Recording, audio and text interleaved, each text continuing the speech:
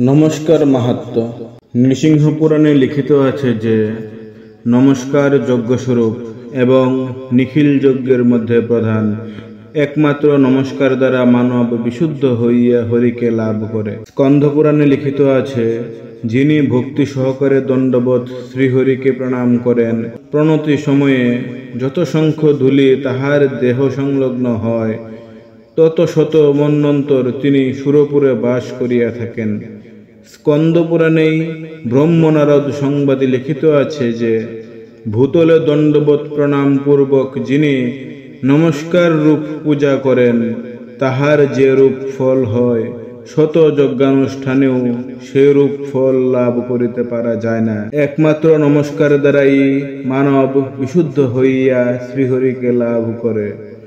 স্কন্দ পুরাণের অন্যত্র লিখিত আছে যে নারায়ণকে নমস্কার করিলে যে পুণ্য হইয়া থাকে, সহস্র কোটি তীর্থে তাহার ষোড়শাংশেরও একাংশ হয় না। সঠতা সহকারে সারঙ্গধন্যা হরিকে প্রণাম করিলেও শত জন্মার্জিত পাপপুঞ্জ আশু ধ্বংস হইয়া থাকে।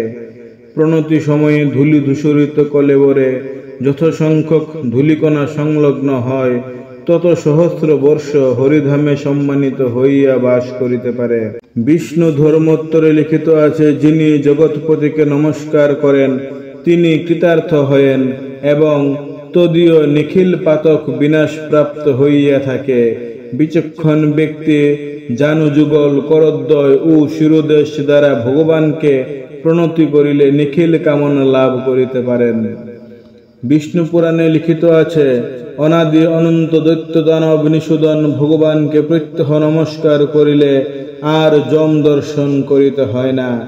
যাহারা জগন্নাথ নারায়ণকে নিরন্তর নমস্কার করেন, তাহাদিগকে আর হরিধাম হইতে অন্য লোকে গমন করিতে হয় না। নারদ পুরাণে লিখিত আছে যে, শ্রীকৃষ্ণকে একবার মাত্র প্রণতি করিলে যে ফল প্রাপ্ত হওয়া যায়, দশ সংখ্য অশ্বমেধ যজ্ঞের অবভৃত স্নানেও সেই রূপ ফল হয় না। ভিডিওটি কেমন লেগেছে? আপনাদের মতামত কমেন্টে জানাবেন। যদি এই ভিডিও থেকে আপনারা কিছু নতুন জানতে ও শিখতে পেয়ে থাকেন, অথবা ভিডিওটি ভালো লেগে থাকে, তাহলে প্লিজ ভিডিওটি একটি লাইক করে নিজের ফ্রেন্ড ও ফ্যামিলিতে শেয়ার করেন। এই চ্যানেলে নতুন হলে চ্যানেলটি সাবস্ক্রাইব করে বেল আইকনটি প্রেস করে অল নোটিফিকেশন অপশনটি সিলেক্ট করুন। দেখা হবে অন্য কোনো নতুন ভিডিওতে নমস্কার।